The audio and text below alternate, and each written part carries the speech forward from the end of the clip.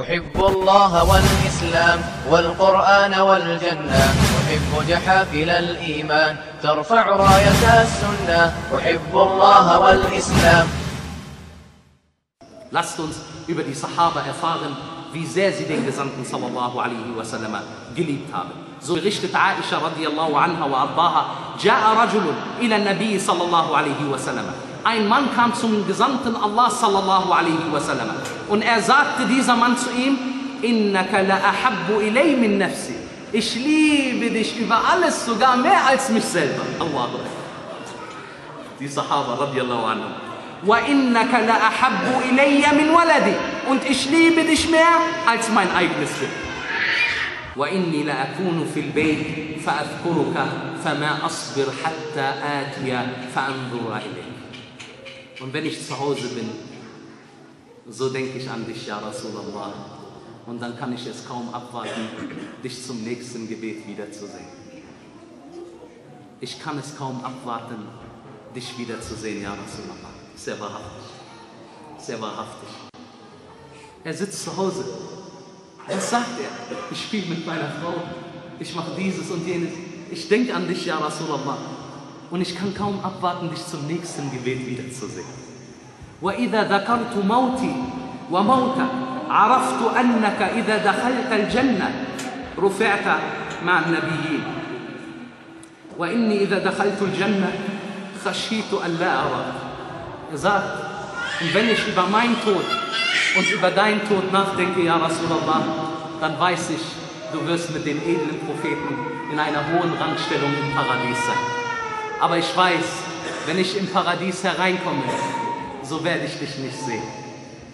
Schaut mal, was seine Sorge. Wenn ich im Paradies bin, er ist im Paradies, er sagt, so werde ich dich nicht sehen, ja Rasulallah. Allahu Akbar. Was für eine Liebe, was für eine Wahrhaftigkeit. An was denkt er? An die Genüsse? Jeder, der im Paradies ist, wird beschäftigt sein.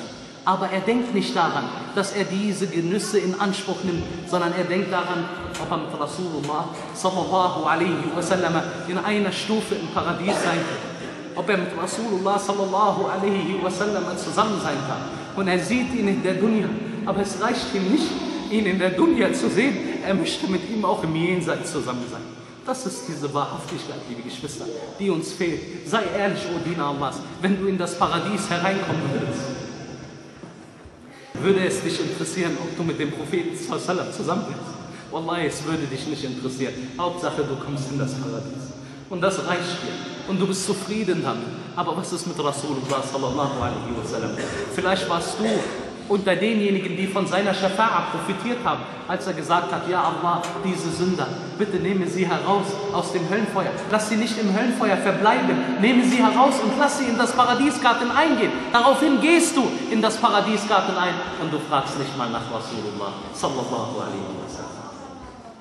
Liebst du ihn wirklich? Und ich habe eine Frage an dich. Wenn dich der Gesandte sallallahu alaihi wasallam gesehen hätte, hätte er dich geliebt. Frag dich selbst hätte er dich geliebt?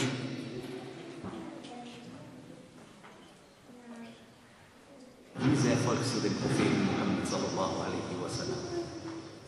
Es gibt Leute, die wollen alles über den Gesandten sallallahu alaihi wasallam erfahren. Er möchte so essen wie der Gesandte Allahs. Er möchte trinken wie der Gesandte Allahs. Und er möchte Allahs gedenken wie der Gesandte Allahs.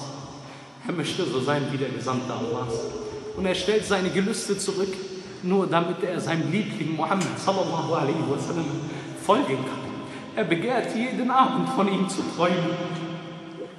Er sagt, ja Allah, lass mich von Muhammad sallallahu alaihi wasallam träumen. Lass mich, ja Allah, von diesem großartigen Propheten träumen. Ich kann es kaum abwarten, ihn zu sehen. Sallallahu alaihi wasallam. Wie weit bist du entfernt von diesem Denken, ja Dina Allahs? Allah al was liebst du mehr? Allah liebt den Propheten Muhammad mehr als alles andere. Wie kannst du ihn nicht lieben? Wie kannst du ihm nicht folgen? Wie viele Leute schämen sich, wenn sie einen Bärtigen sehen, dass sie ihn begrüßen auf der Straße, obwohl dieser Bärtige nur dem Vorbild Muhammad folgt? Was ist mit dir los, O Diener Allahs, dass du selber geworden bist wie Leute, die irregehend sind, indem du in der Fatiha sagst, غَيْرِ الْمَغْضُوبِ عَلَيْهِمْ وَلَا الضَّالِينَ ja Allah, mach mich nicht wie diejenigen, über die dein Zorn ergangen ist und auch nicht wie die Irregehenden. Du sagst das in der Fatiha. Daraufhin hast du die Gläubigen, du magst sie nicht anschauen und es ekelt dich geradezu, wenn du einen Gläubigen siehst, der dem Propheten sallam folgt und du liebst es, die Kuffar zu begegnen. Und du liebst es so zu sein wie sie. Und du machst sie nach in jeder Hinsicht. Wisse eins, deine Liebe ist nicht wahrhaftig. Und bereue sofort, Odin Abbas, bevor Allah deine Seele nimmt und er sieht, dass du in deinem Herzen etwas mehr geliebt hast als Allah und seinen Gesandten. Hört diesen großartigen Sahabi an. Er sagt, ja Rasulallah, ich bin zu Hause. Ich kann es kaum abwarten, dich wieder in der Moschee zu sehen. Und wenn ich im Paradies bin, ich will nur mit dir zusammen sein. Ob ich was von den Paradiesjungfrauen bekomme, ob ich etwas von dem leckeren Essen und Trinken bekomme, es interessiert mich nicht. Alleine, dass ich mit dir zusammen sein darf in deiner Gegenwart, das ist für mich genug. Um Allahi, und ich schwöre bei Allah Azzawajal, einen kräftigen Schwur, wenn wir im Paradies nichts anderes bekommen würden, außer dass wir in der Gesellschaft sein dürften von Muhammad sallam, das Paradies wäre das Schönste, was es gibt. Ja, Wallah.